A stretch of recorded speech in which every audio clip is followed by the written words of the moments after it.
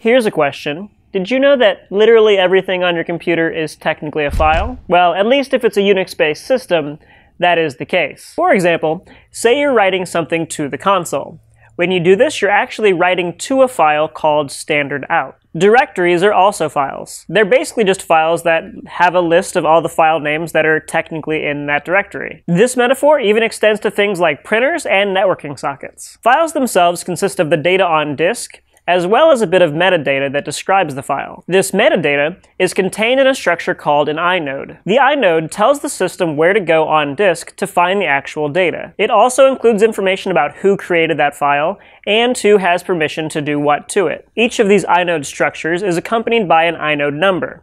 The number is basically a key to an array that shows you how to get to that inode structure. In the directory file I mentioned earlier, there's an inode number that maps to each file name on the system. This separation of the inode and the file is what makes hard and soft links a possibility. When you make a hard link, you're just making another file that points directly to the same inode on the system. A soft link, on the other hand, is a file that contains a path to the original file it doesn't actually point to the original inode that the other file points to. All right, let's take a little bit closer of a look at some files. First things first, as usual, let's clear our screen. And then let's just make a new folder real quick. We'll call it Files. Then we'll cd into that. And we'll just make one called hi.txt.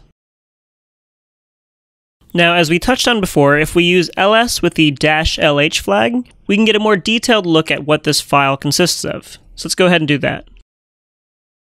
And now we see a lot more information about this file. First, we have the dash here, and when you see a dash, that means it's a normal file. There's other options, like you can see L if it's a soft link, S if it's a socket, D if it's directory. And then we'll learn more about the rest of this permission string in the next video, but for now, just know it kind of defines who has like privileges over this file.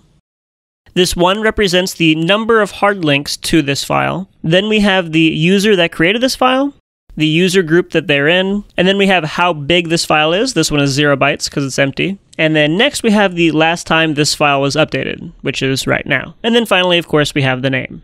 So let's go ahead and explore these hard and soft links a little more. First, we'll make a soft link. Like before, we'll do ln and use dash s. And then first we say the name of the file, and then we give it the name of the link. We'll say hi sim.txt. And then once we've done that, we'll do clear. And if you happen to watch the configuration video, then you should have a shortcut for ls-lh called ll. So we'll do ll. And now we see that we do have our symlink. And here it shows that it points to hi.txt. Over here on the left side, you see that instead of a dash, we have an L. And this number has not been incremented. In contrast, let's go ahead and make a hard link to the original file. This time you just do ln with no dash s, and we'll say hi.txt is the original, and hi2.txt is the hard link. And now if we do ll, we see a bit different of a situation. Here we have hi.txt and hi2.txt. They're both zero bytes, both created by the same people. As you can see, the number of hard links has been up to two here, and then over here, both of these files are still normal files. Finally, if you want to get a slightly different view of what's going on here, you can do ls and then dash i. And this actually means that we want to see the inode number of these files. And here we see that the first number, hi.txt, and the second number are exactly the same. You can think of these numbers as indices into an array, or basically addresses like with pointers, and each of these files point to the same place. At the end of the day, they are essentially exactly the same file. Whereas with this last symlink, we see that it is a completely different file, pointing to a different location on disk.